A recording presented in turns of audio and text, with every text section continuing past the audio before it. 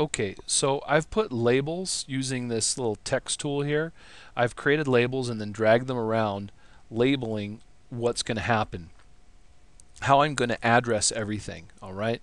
And so you can do that too, right? And I've, I've kind of explained how everything's, now we haven't actually done any configuring, I've just labeled what's going to happen. And so now I've got to actually configure all the devices so that they adopt these numbers. Okay, so let's start with the basic configuration. First of all, this PC.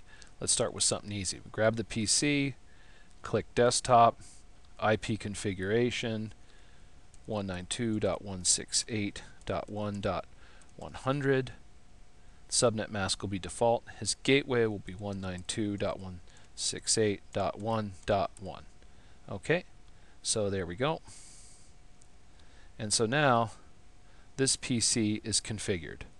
Okay, if you want to hover over it, you can see if the address is in there, and it is. Okay, now the router. So we have two interfaces that we need to configure, the Ethernet and the serial. Okay, so click over here and get the command line interface. Type no, we don't want to do a wizard just want to do manual configuration, en for enable, conf t to go to global config, int, serial, let's start with serial, serial 2 slash 0, okay, IP address 10.0.0.1. Let's go with the classful subnet mask 255.0.0.0 Okay. No shut. Okay, now it's up. Now interface FA 0 slash 0 IP address. Oops, we have to spell address right.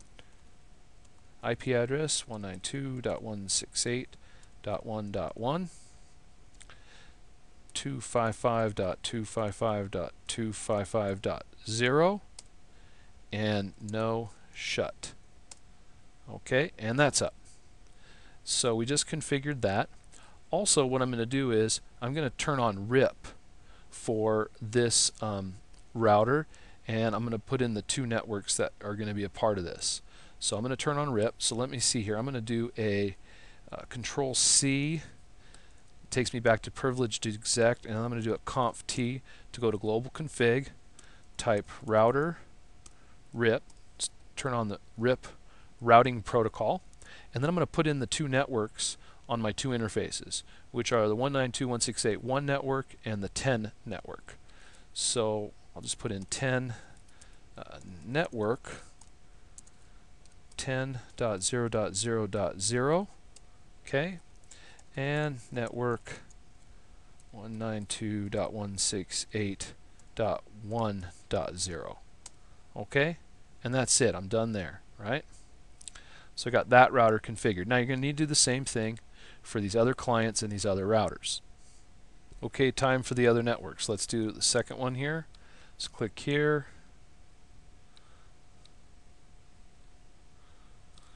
172.16.0.100 and then 172.16.0.1 okay close that out close that out.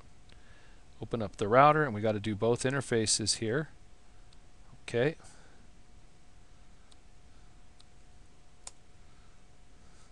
No. Enter enable conf t for configure terminal. All right. And interface serial 2 slash 0 IP address 10.0.0.2 255.255.255.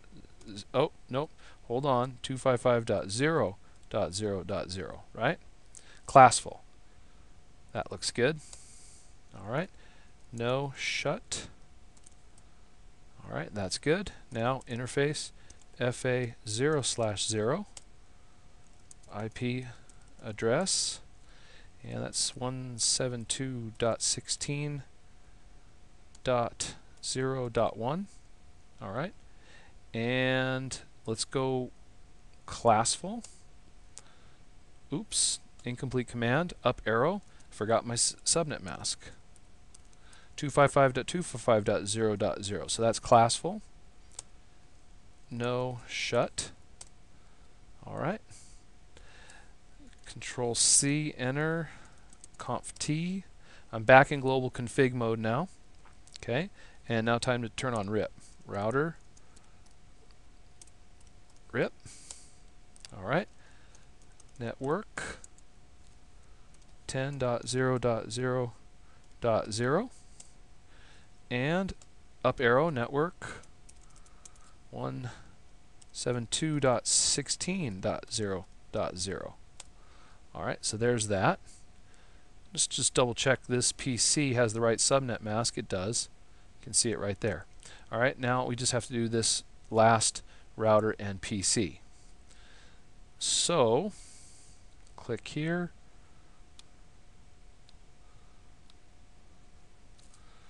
192.168.5.100 and 2.168.5.1.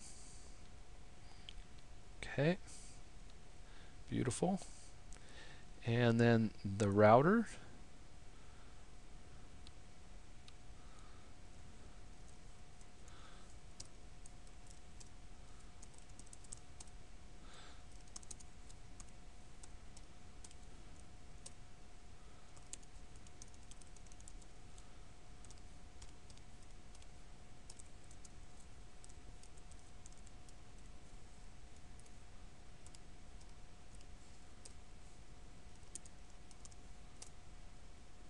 Okay. And then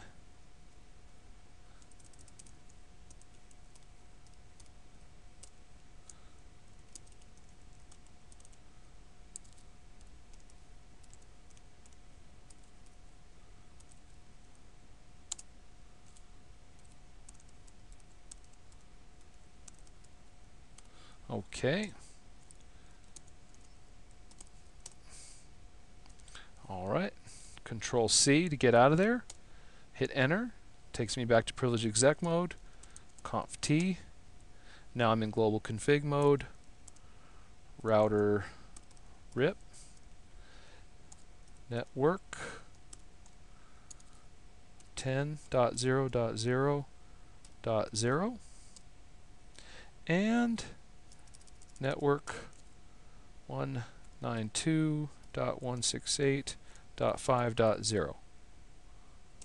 Okay. Okay, so now we have the PCs configured and the routers partially configured. They've got RIP and they've got their interfaces configured. We're going to do this cloud next, set up the cloud, and then we'll do the, last but not least, we'll do the frame relay commands on the routers. Right now might be a good time to save a version of this so that I have a um, a version for safekeeping that does not have everything finished in it so I can go multiple ways with it. So I can say frame relay start